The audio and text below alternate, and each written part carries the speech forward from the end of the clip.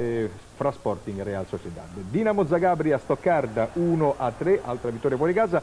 Al 43esimo Klinsmann in contropiede, splendida azione personale, va via e porta in vantaggio lo Stoccarda. Rivediamo, vediamo che qui Klinsmann ha quattro avversari, li fa fuori tutti e quattro e poi batte il portiere e porta in vantaggio lo Stoccarda superando il portiere Radice. Al sesto vediamo ancora l'azione che va via sempre di eh, rapidità in contropiede, viene appoggiata ora su Klinsmann che fa proseguire Buchwald, Buchwald tira, sull'intervento di Ladic interviene Walter e realizza il gol. Ecco il tiro di Buchwald, deviato appena da Ladic, subentra nell'azione Walter e realizza il 2 a 0.